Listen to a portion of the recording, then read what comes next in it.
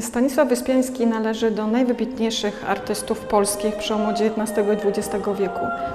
Jego wizerunek z żoną z roku 1904 przybliża nam jego postać, y, człowieka już w pełni sił, człowieka trzy lata przed śmiercią, albowiem Wyspiański urodził się w roku 1869, a zmarł w roku 1907. Wyspiański całe życie w większości związany był z Krakowem. Kraków był jego miejscem i narodzin, ale też Kraków był miastem, w którym Wyspiański i dla którego tworzył. Tworzył dzieła monumentalne, tworzył witraże, polichromie, dekoracje malarskie, ale tworzył też oczywiście pastele, w których osiągnął najwybitniejszy poziom artystyczny wśród artystów tego czasu, jak również i akwarele, grafiki. Projektował też y, dekoracje teatralne. Y, oczywiście udzielał się też na polu literatury, był doskonałym dramatopisarzem. Odpowiedzialny był też między innymi za to, że stworzył podwaliny pod współczesny design. Y, na portrecie, który tutaj widzimy z roku 1904 Wyspiański prezentuje siebie w stroju ludowym. Jest z żoną. Jest to jedyny portret, na którym Wyspiański portretuje się z kimkolwiek innym niż on sam. W ten sposób jakby bardzo wyróżnił kobietę, z którą spędził życie. Jest to Teofila z Pytków Wyspiańska. Y, nie wiadomo, kiedy Wyspiański do, dokładnie poznał Teofilę. Prawdopodobnie podczas y, pracy w kościele Franciszkanów Teofila była osobą mieszającą farby. Mówi się też w legendach, że była służącą w domu Stanisława Wyspiańskiego cioci, czyli u, u pani Stankiewiczowej. Jest to kwintesencja portretu, reprezentacyjnego portretu małżeńskiego. Wyspiański y, ochrania nieco żonę, bo y, nieco przed nią jakby występuje. Żona jest tu w pełnym stroju krakowskim. Obraz namalowany jest w technice pastelu, suchego pastelu. Wyspiański w nim był mistrzem. Y, jest w oryginalnych ramach z epoki, ponieważ wiemy, z których rąk jakby obraz dotarł do zbiorów Muzeum Narodowego w Krakowie. Zakupił go w sposób taki zupełnie nowatorski w tamtym czasie Felix Manga-Jasiński prosto z pracowni artysty, czyli nie na wystawie, tylko zakupił go w, w mieszkaniu artysty. Znamy rachunki, y, ile kosztował ten koron, kosztował ten, y, ten pastel. Wiemy, że Wyspiański malował takie pastele bardzo szybko i dla niego portret był bardzo istotny. Wyspiański mówił zawsze, że portret maluje się godzinę, dwie, ponieważ potem już człowiek się zmienia i nie jest tą samą postacią. Więc tutaj widzimy właśnie typowy portret psychologiczny, gdzie jest wąskie kadrowanie, mocne kadrowanie, właściwie skoncentracja jest na twarzy y, artysty i na twarzy jego żony. Z tą żoną Wyspiański miał czwórkę dzieci, y, trzech chłopców, jedną dziewczynkę, czyli Helenkę, Teodora, Mietka i Stanisława. Wyspiański rzadko się portretował. Tam mamy w y, części ekspozycji dwa inne autoportrety artysty. Portretował się tylko w momentach dla niego istotnych, symbolicznych. Y, gdybyśmy policzyli, tych autoportretów jest około kilkunastu w całej bogatej kolekcji Stanisława Wyspiańskiego, czyli na tle na przykład takiego artysty jak Jacek Malczewski, który portretował się notorycznie. Tu widać, że Wyspiański jakby nie preferował tego rodzaju y, wy, wy, wypowiedzi artystycznej.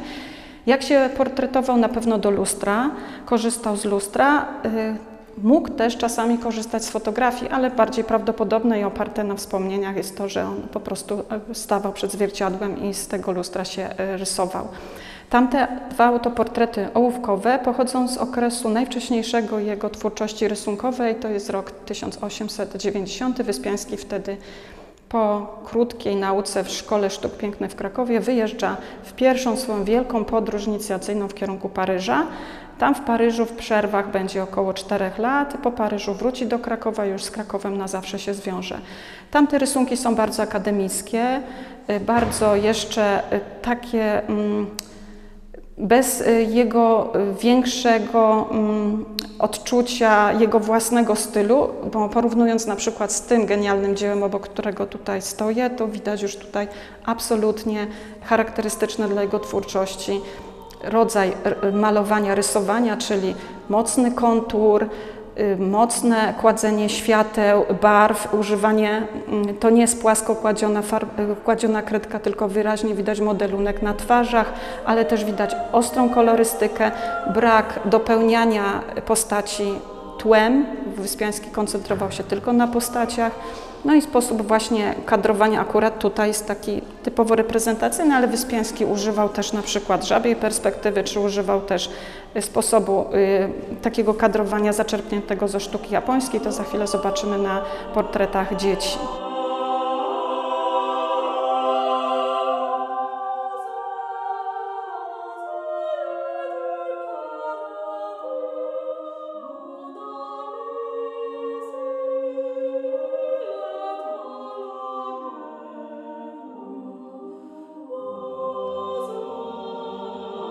Stanisław Wyspiański portretował z, z, wielką radością i z wielką wrażliwością bardzo często swoje dzieci.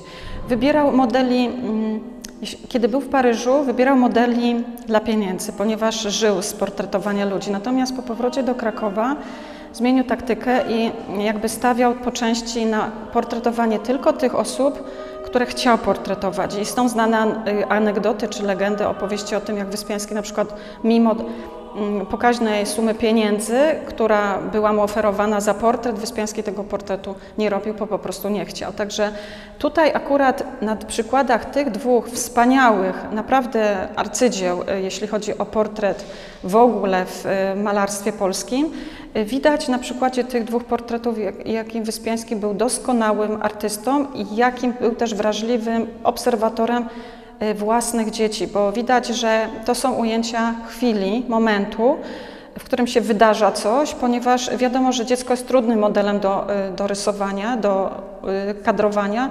Tu akurat Mietek, czyli jeden z młodszych dzieci artysty śpi i to widać wyraźnie, że to ujęcie ewidentnie kadrowany w, podczas gdy to dziecko w określonym pokoju, prawdopodobnie, a, a, nawet nieprawdopodobnie, tylko na pewno jest to pokój w mieszkaniu przy ulicy Krowoderskiej, gdzie Wyspiański przeprowadził się w roku 1901 wraz z żoną i z, y, wtedy już z trójką dzieci, bo ostatnie dziecko już tam Staś urodziło się właśnie na ulicy Krowoderskiej. To było bardzo ważne mieszkanie w jego mm, jakby też y, życiu. Y, ponieważ miał tam tą słynną szafirową pracownię, czyli pracownię, którą pomalował sobie na kolor właśnie mocno, mocno niebieski, zbliżony do tego odcieniu, który, który widzimy na koszulce dziecka. I pomalował sufit, podłogę, ściany, a nawet y, jeśli miał y, biblioteczkę z książkami, to tą biblioteczkę zasuwał tkaniną, która też była tkaniną w kolorze szafirowym. Więc dla niego ten rodzaj pracowni był bardzo, y, był dla też odbioru współczesnego tamtejszych ludzi bardzo awangardowy i to było właśnie przejaw już tego myślenia o designie Wyspiańskiego, o tym jak on projektował też wspaniale wnętrza, zupełnie nowatorsko, bo wiemy, że w tamtych czasach drobnomieszczańskich czy mieszczańskich w ogóle w Krakowie, no to był biały sufit pokryty y, najczęściej jakąś dekoracją stiukową, meble były biedermajerowskie albo mm, innego rodzaju jakieś neo, natomiast Wyspiański malując na szafirowo całą przestrzeń, do, do, do tej przestrzeni jeszcze projektował własne meble, które w, w charakterze zbliżały się wręcz do art deco, do stylu, który będzie za, dopiero obecny w sztuce za parę dobrych lat po jego śmierci. Wracając do portretów, proszę zwrócić uwagę na kadrowanie. Jest ono po skosach, czyli widać wyraźnie, że Wyspiański przejął lekcję wyniesioną ze sztuki ówczesnej, współczesnej, czyli na pewno ze kompozycji japońskich, takie kadrowanie po skosach. Y, y, też jakby mm, manewrowanie za, zarysowaną częścią karty z niezarysowaną, tak jak na przykładzie Helenki z wazonem, też widać wyraźnie, to jest też jakby wpływ sztuki japońskiej. Natomiast jeśli chodzi o postrzeganie postaci i taki mocny kontur, mocne, e, duże dosyć plamy barw, to na pewno jest to lekcja wyniesiona z nabistów, czyli z syntetyzmu ówcześnie, jakby, e, który panował w sztuce współczesnej. Mówi się, że na przykład portret Helenki jest wzorowany na portrecie dziecka Clovis e, Gogena, więc widać też, wiemy, że Wyspiański z Gogenem miał kontakt osobisty, y, y, korzystał z pracowni y, Gogena w Paryżu, więc widać, że jego twórczość też przerobił, też ją dobrze znał. Są to absolutne arcydzieła, na pewno często bardzo używane jako ilustracje w, czy w książkach naszych podręcznikach dla dzieci, więc takie portrety dwa ewidentnie ikoniczne. Natomiast tak jak tutaj Mietek i Helenka, tu mamy do czynienia z Teofilą, ze Stasiem. Teofila przytula najmłodszego syna Stasia i ten obraz jest w kolekcji Muzeum Narodowego w Krakowie w statusie depozytu. Został zakupiony kilka lat temu na aukcji przez prywatnego właściciela i podarowany jakby w depozyt do zbiorów y, muzeum. Wtedy osiągnął sumę 4 milionów 400 tysięcy złotych. To było 5 lat temu, więc y, widać też skalę, w jaki, ile kosztują w tym momencie pastele tego artysty, a miejmy y, cały czas tą historię w pamięci, że Wyspiański niesamowicie szarpał się, jeśli chodzi o kwestie finansowe przez całe swoje życie. Średnio sobie radził jako człowiek y, umiejący jakby mm, zarabiać i y, te pieniądze gromadzić.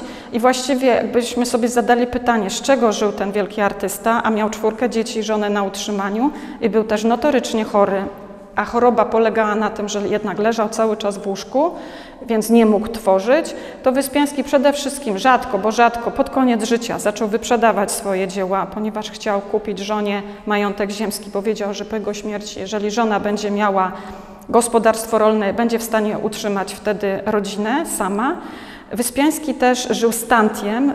W tamtych czasach tantiemy były dosyć, czyli przełom XIX-XX wieku, dosyć popularne, czyli cokolwiek było wystawione ze sztuk Wyspiańskiego, on otrzymywał z tych teatrów jakieś drobne pieniądze. Otrzymywał też tantiemy za dzieła sztuki, które były ilustracjami w gazetach czy w czasopismach, to precyzyjnie było też ściągane.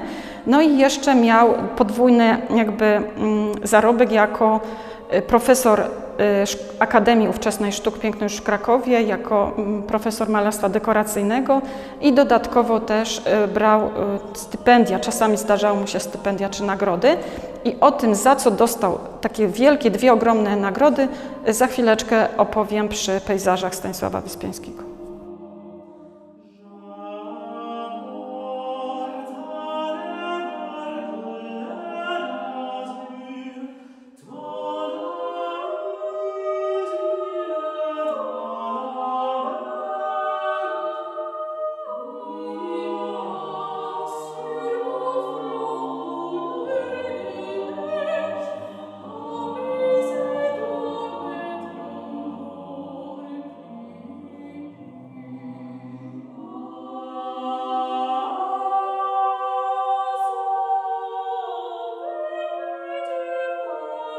Wyspiański pejzażysta niewątpliwie też y, osiągnął apogeum w, tej, w tym rodzaju gatunku, jeśli chodzi o okres jego twórczości, ale też okres w ogóle w sztuce polskiej. Doskonałe dwa przykłady tutaj jego y, dojrzałej już twórczości pejzażowej widzimy na przykładzie tak zwanej Kroniki Kilku Dni. Kronika Kilku Dni to był cykl, seria e, rysunków pastelowych, które Wyspiański wykonał w grudniu 1904 roku i potem w styczniu 1905. Wiąże się z tym procesem twórczym powstania blisko 40 pasteli, które dwa przykłady widzimy tutaj na ścianie. E, taka opowieść, bardziej może też e, mm, dotykająca legendy, że Wyspiański, mocno chory, któremu nie wolno było wychodzić z mieszkania miał to zabronione przez lekarzy. Mieszkał oczywiście w tej szafirowej pracowni i w, innych pokojach przy ulicy Krowoderskiej. I tam był widok właśnie z jego okna w pracowni w kierunku y, kopca Kościuszki, w kierunku takich y, kolejowych, kole, kolejowych torów, które w, tym, w tamtym czasie w Krakowie w tym kierunku podążały. W tym momencie tutaj już mamy zabudowaną ulicę w Krakowie, między innymi Radio Kraków zasłania ten widok. Czyli jakby Kraków zupełnie zmienił swój wizerunek od tamtych czasów, więc takiego widoku z okna z ulicy Krowoderskiej w tym momencie nie jesteśmy w stanie zobaczyć. Ale co jest ciekawe, Wyspiański ten schorowany mocno, który jest zamknięty y, w mieszkaniu, do niego przychodzi w odwiedziny Felix Jasiński, czyli bardzo znany kolekcjoner tamtych czasów w Krakowie i nie tylko, który mówi mu, e, weź, e, nie możesz wychodzić, ale możesz przecież rysować e, inne rzeczy. Wyspiański zniecierpliwiony mówi, że ma dość malowania główek, wtedy Felix Jasiński mówi, a maluj widok z okna. tak przecież w różnych porach dnia, w różnych porach pogodowych i tak przecież malował Manet fasadę katedry w Rouen i tak przecież w, też w tamtym czasie powstawały i znane były i przez Wyspiańskiego na pewno y, widziane y, cykl góry Fuji y, namalowany przez y, japońskiego grafik, narysowany, a potem odbity y, w postaci grafik przez y, japońskiego artystę mm, Hiroshige. W każdym razie, co jest istotne, Wyspiański za ten cykl, Kroniki Kilku Dni, otrzymał potem nagrodę Probusa Barczewskiego, to była bardzo znana i bardzo pokaźna suma, bardzo znana nagroda, bardzo pokaźna suma pieniędzy z Akademii Umiejętności w tamtym czasie i między innymi te pieniądze, które za tę kronikę kilku dni dostał, mógł zainwestować w zakup późniejszej posiadłości w Węgrzech, a wcześniej jeszcze raz dostał Wyspiański nagrodę Probusa Barczewskiego za witraże do katedry wawelskiej. Ciekawym aspektem twórczości Wyspiańskiego jest na pewno jego warsztat, warsztat artysty. I na przykładzie tych y, przedmiotów, które widzimy w gablocie, można zobaczyć to, co Wyspiański dla niego jest bardzo charakterystyczne. Czyli widzimy paletę, paletę malarską, ale widzimy też pudełko po lewatywie, właściwie po, po lekarstwach do lewatywy, ale w których Wyspiański przechowywał pastele olejne, bo to są kredki olejne, które służyły mu do podrysowywania rysunków, na przykład w Bogu Ojcu do zarysowywania konturu postaci, to nie są pastele suche, którymi Wyspiański de facto rysował wszystkie te najsłynniejsze portrety czy pejzaże.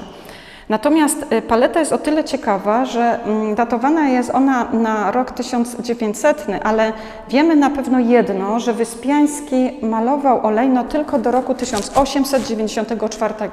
Wszystko to wiązało się z jego alergią na, na um, elementy zawarte w farbach olejnych i nie do końca wiemy, czy to chodziło o ciężkie metale, takie jak ołów, który jest w każdej właściwie farbie olejnej, czy chodziło o na przykład terpentynę, czyli y, inny rodzaj używanego chemikalium przy malowaniu olejno. W każdym bądź razie wiemy z listów, że Wyspiański w Paryżu, jak zaczął malować olejno, zaczął mieć przeraźliwe bóle głowy, robiło mu się niedobrze, musiał po prostu to malowanie olejne całkowicie zarzucić. Nie był on jedynym wyjątkiem wśród artystów tamtego czasu, ponieważ wiemy na przykład, że podobnie miał Jan Rębowski, który potem został wybitnym rysownikiem, a za, zaczynał od rzeźby przez malarstwo olejne, musiał skończyć jako rysownik, bo, po prostu y, zdrowie nie pozwalało na kontynuowanie tego warsztatu olejnego. Podobnie miał na przykład Władysław Skoczylas, czyli też został grafikiem, po części dlatego, że nie służyło mu malowanie olejne. I stąd właśnie ostatnim właśnie obrazem, który zobaczymy tutaj na, y, w ekspozycji, będą planty o świcie. To jest obraz malowany tak pięknie akwarelowo farbami olejnymi, a właściwie po roku 1894 do roku 1907, czyli do śmierci artysty, to już jest tylko pastel, węgiel albo ołówek, czyli jakby Wyspiański zmienia kompletnie technikę. Zdarza mu się być gra grafikiem, w międzyczasie. Był dobrym litografem, ponieważ litografia to jest taki sam rodzaj jakby e, tworzenia trochę jak, mm, jak rysownik, ponieważ rysuje się po kamieniu litograficznym i tą litografię najlepszą jego, w jego wykonaniu to jest niewątpliwie plakat do wnętrza Metterlenka, ale mamy tutaj obok na ekspozycji fluoroforty, które Wyspiański też tworzył, ale tu już przy ich tworzeniu pomagał mu wybitny chemik Tadeusz Streicher.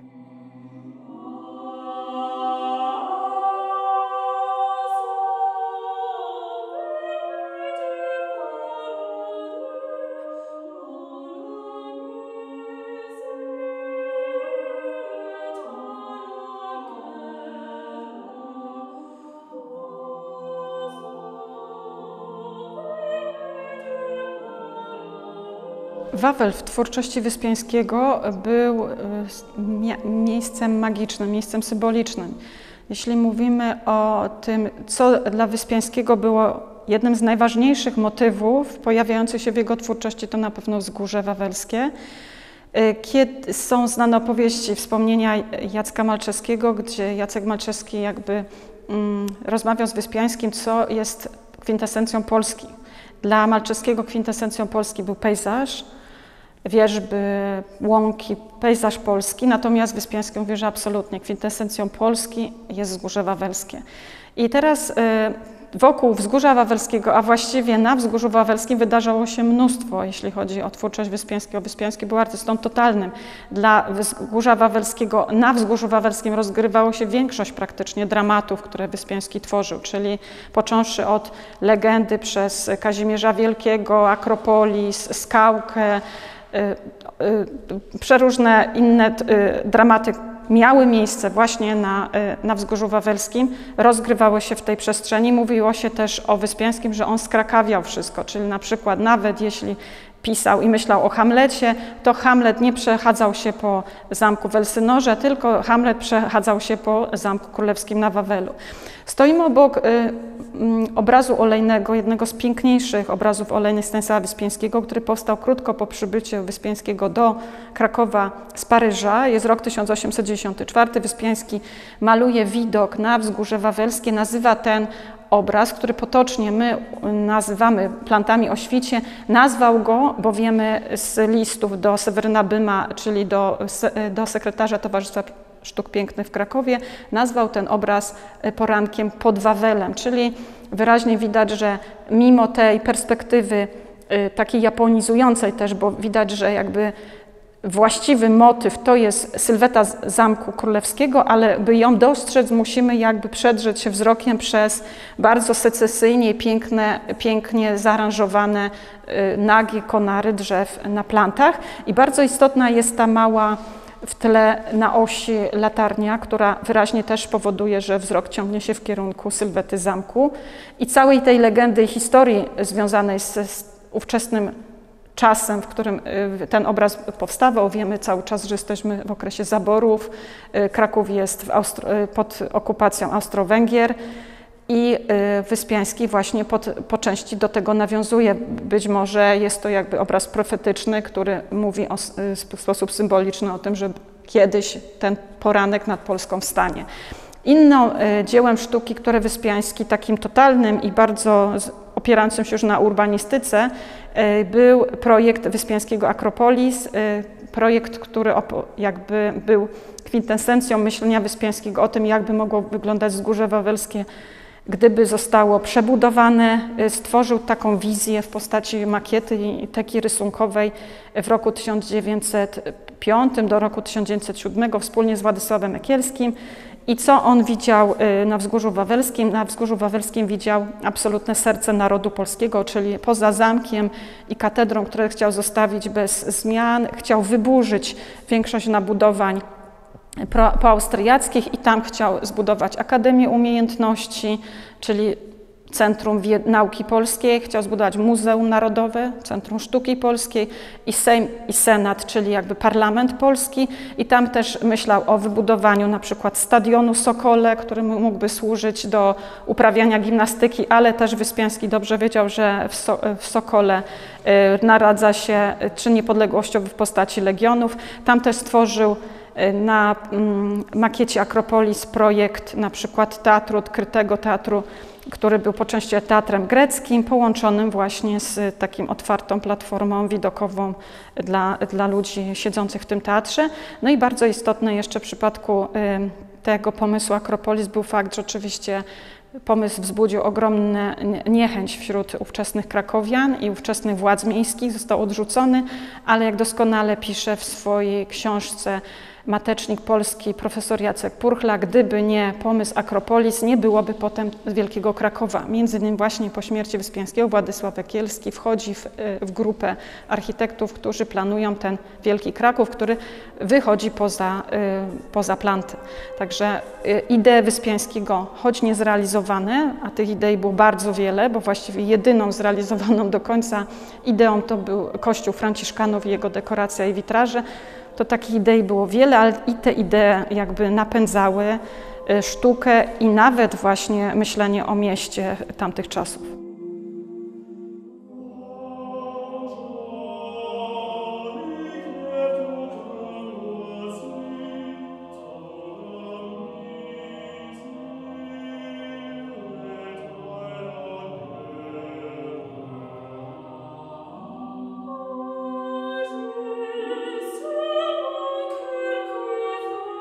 Kościół Franciszkanów to dzieło skończone właściwie Stanisława Wyspiańskiego. Jeden z nielicznych projektów, które udało się po prostu zrealizować od zamierzenia aż do realizacji. To jest rzadkie, jeśli chodzi o twórczość Wyspiańskiego.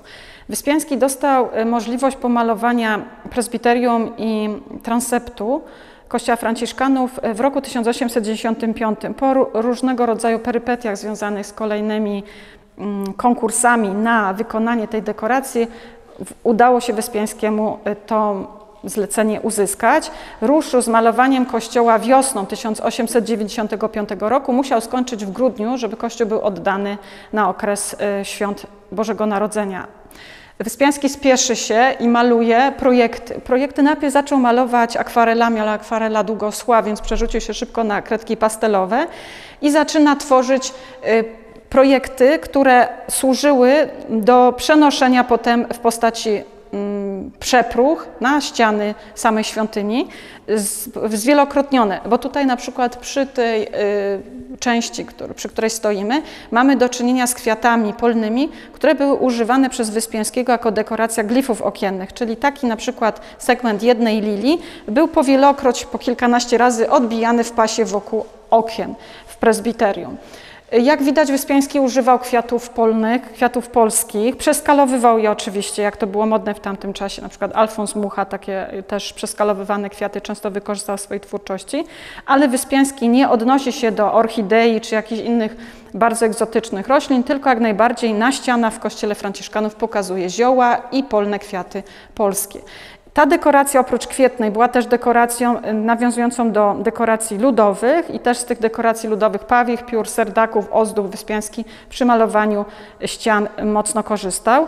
Były też elementy figuralne, ale istotny było też bardzo y, sam fakt, że Wyspiański po ukończeniu malowania kościoła w roku 1895 dostał zlecenie na wykonanie witraży do okien franciszkańskich i tutaj za moimi plecami jeden z piękniejszych kartonów wykonawczych do okna, do okna w prezbiterium z motywem żywiołu ognia. Wykonawczy dlatego, że jest to karton jeden do jeden, który służył witrażownikom do wycinania szkieł. I widzimy na przykład tutaj takie specyficzne zapisy ołówkiem na kartonie. To są zapisy witrażowników, jeśli chodzi o mm, tonację użytego szkła.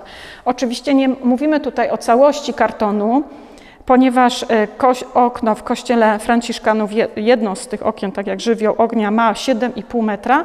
Tutaj mamy karton około 4,5 metrowy, ponieważ Rama jest specjalnie tak skonstruowana, że jest półwałek w dole tej ramy i witraż się podwija i jest tam z drugiej strony puszczony, również ma dystans i również jest chroniony przez, przed, y, przed jakby y, uszkodzeniem, więc mamy do czynienia no, średnio z trzema czwartymi tego, co na żywo w kościele franciszkanów możemy zobaczyć. W presbiterium tych witraży było sześć. Był y, żywioł ognia dwa razy, żywioł wody dwa razy i święta, y, y, święta Salomea, święte Mniszki, święta Salomea i święty Franciszek. Natomiast w roku 1904 wreszcie Wyspiański dokończył jakby twórczość witrażową w kościele Franciszkanów poprzez zaszklenie okna y, w części zachodniej nawy i tam, tam skonstruował, wymyślił, stworzył wizerunek Boga Ojca, Ojca stwarzającego świat z niebytu. Witraż ten nazwany był też Stań się, czyli pokazywał moment kreacji świata przez Boga, czyli Bóg jedną ręką y, jest sędzią i nad głową ją trzyma w geście jakby kary, z drugą ręką natomiast wyciąga jakby świat y, z żywiołów, tworzy na nowo jakby powstającą powstający świat. I ten witraż niewątpliwie, jak i te kartony, które tutaj widzimy, należą do jednych z najlepszych i najbardziej awangardowych witraży w ogóle w sztuce y, europejskich tamtych czasów. Podobnych witraży trudno znaleźć i jeśli mówimy o Wyspiańskim jako artyście totalnym, to na pewno jeśli chodzi o witraże, był w tych witrażach chyba najlepszy, bo na pewno czegoś nie dotknął, był doskonały, natomiast w witrażu był naprawdę no, arcywybitny.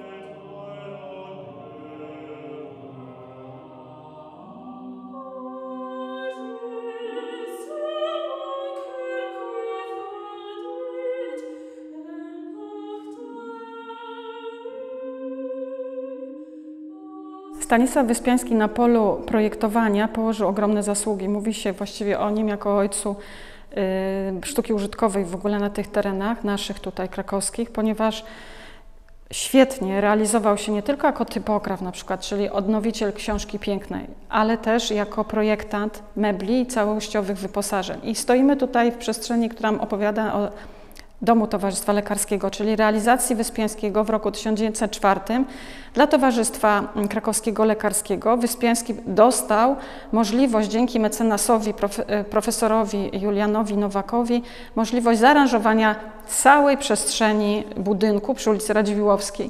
Tworzy tam nie tylko e, polichromię ścian, ale też tworzy tkaniny, tworzy meble i tworzy balustradę oraz w westybulu e, części związane z, z, klatką schodową też z witrażami. I co jest dla niego niezwykle charakterystyczne i niezwykle nowatorskie, Wyspiański odżegnuje się już wtedy od secesji, jest wręcz oburzony, kiedy w gazecie w momencie otwarcia domu lekarskiego porównuje się jego twórczość do twórczości secesyjnej. On się od tego odżegnuje, on wyraźnie już zmierza w kierunku, który później w sztuce pojawi się jako art deco. Bo proszę zobaczyć, jak projektował meble. Meble były meble były bardzo kubiczne, bardzo proste, y, bardzo wyrafinowane, jeśli chodzi o dekorację. Proszę zobaczyć na y, fragment tej balustrady, to jest modelik, czyli jakby jedno przęsło balustrady, która pojawia się w westybulu domu lekarskiego, czyli tam na klatce schodowej jaka jest profuzja i ile jest różnego rodzaju mm, stopów tutaj, bo jest stop żelaza i cyny i miedź. Wszystko to jest kolorystycznie ze sobą niezwykle wyrafinowanie połączone, a jest to niewątpliwie prze, przestylizowany y, kwiat i liść, liście kasztanowca. Kwiaty i liście kasztanowca, czyli tego drzewa, które jest tak popularne na plantach. To samo stosuje, jeśli chodzi o y, dekoracje, czy fryzów podstropowych czy tkanin, bo to, co widzimy w kolorze tym, tym czerwono-różowym, y, to jest y, przeprucha, kolorystyczny jakby model y, do dekoracji fryzów w sali posiedzeń domu lekarskiego z wykorzystaniem pelargonii, białej pelargonii i żółtej pelargonii, czyli tak zwanych kaczkowanych krakowiaków, jak to nazywał Wyspiański, bo Wyspiański te kwiaty na pewno w domu miał, tak jak i fuksy, bo to były kwiaty popularne w domach na ścianach czy w, w ogrodach y, w doniczkach czy w ogrodach i teraz tutaj y, te kaczkowane, dlatego krakowiaki, że jakby podążające jak kaczki w rządku jedna za drugim. I mamy też tutaj szkice rysunkowe, dokładnie rozrysowywujące na przykład układ słupa do balestrady czy schodów y, do czytelni, bo właściwie Wyspiański stworzył w, właściwie w domu lekarskim wszystko, łącznie porządki na parasole. Także jeśli chodzi o jego wkład w design był po prostu ogromny.